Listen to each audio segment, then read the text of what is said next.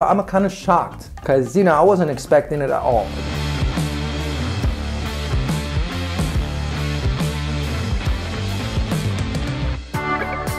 What's up guys, Dan Frullani here and welcome back to a new video.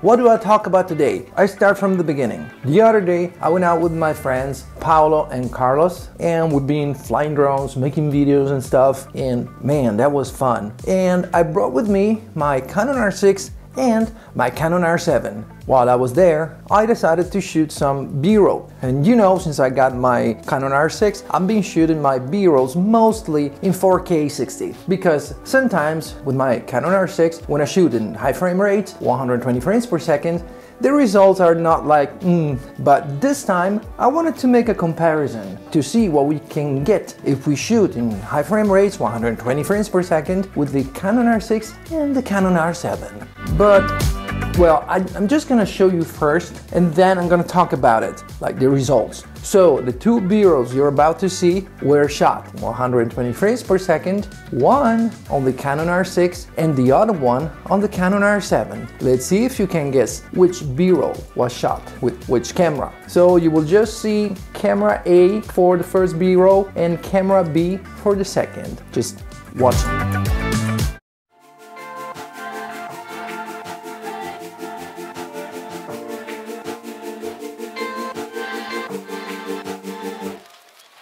Mm-hmm.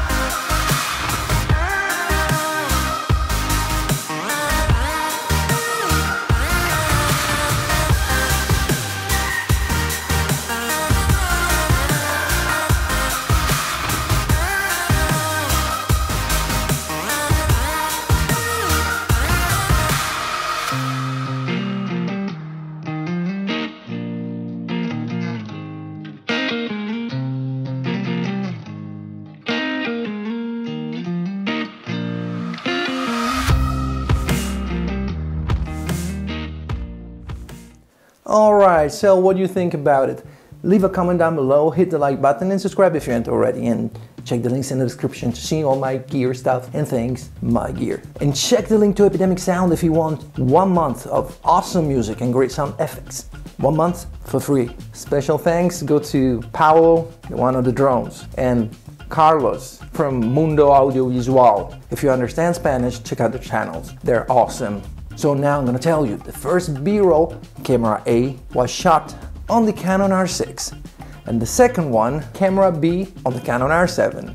Well, that was a total surprise. I wasn't expecting these results. On one side, it's true, I didn't like very much the Canon R6 in 120 frames per second, but I have to admit, in this case, it did well. But I'm so surprised that the Canon R7 performed fantastically. I mean, maybe it's just my impression, but it looks awesome. And that's incredible. I wasn't expecting it at all. Well, when I got the R7, uh, yeah, I got it as a second camera. And I knew it had the 120 frames per second option feature, but since I already wasn't really happy with the results in 120 frames per second of the R6, I was actually expecting something worse from the R7. In my opinion, it performs better than the Canon R6 in 120 frames per second. That's kind of incredible because the Canon R7 costs something like a grand less than the Canon R6. The Canon R6 when it came out it was about 2500 bucks and the Canon R7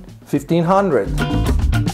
So I'm kind of shocked because, you know, I wasn't expecting it at all. Again, I was actually shooting almost all my B-rolls in 4K 60, but now I think that's gonna change because I'm gonna do all the things I have to do with my main camera, the Canon R6, but when I will want to shoot in high frame rates, well, I'm gonna use the R7.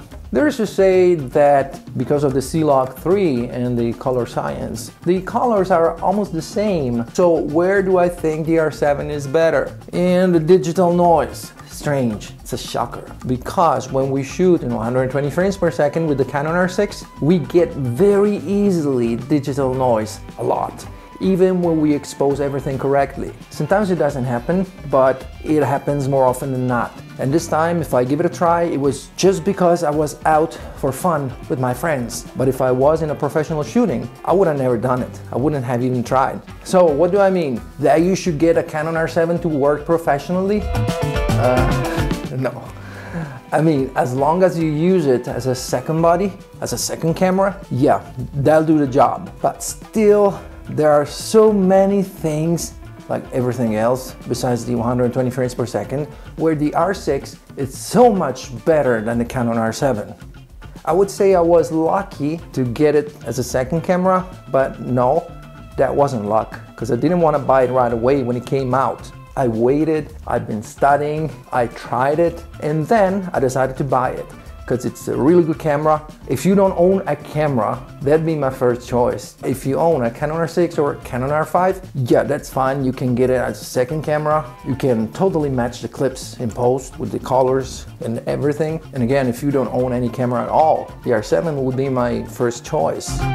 But again, it depends on what you need because the fact that this camera is good in 120 frames per second doesn't mean that it's a perfect camera for you. It depends what you shoot and it depends on how much money you can spend. Like I said, for me, it was a total surprise because you know how much I love shooting in 120 frames per second and since I got my Canon R6, I just couldn't do it much because sometimes it does it well, like decently, but more often than not, the footage I get is like not good enough. But with the R7, it just looked fantastic, in my opinion. And that's something I wasn't expecting, like to find some better quality, even if for the feature only, in a much cheaper camera. Well, what can I say? Now I have two cameras that complement each other. Alright, that's all I wanted to say and to share with you guys.